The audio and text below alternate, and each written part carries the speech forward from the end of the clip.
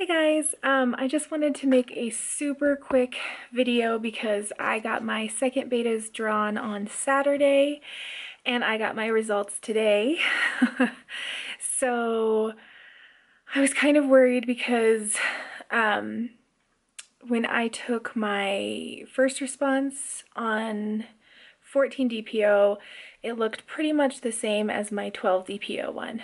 So I started panicking and worrying, like, you know, like you do. and um, on 15 DPO, it was a little bit darker and I felt much better. And then today, 16 DPO and super dark line. So I'm feeling better and better about it. And even now that I know my number, I feel awesome. so on the 12th, my HCG level was 37 and on the 14th, my HCG level was 88. So um, that's a doubling time of, let me see this little calculator thing, of 1.6 days or every 38.4 hours, says this um, little calculator of doubling time.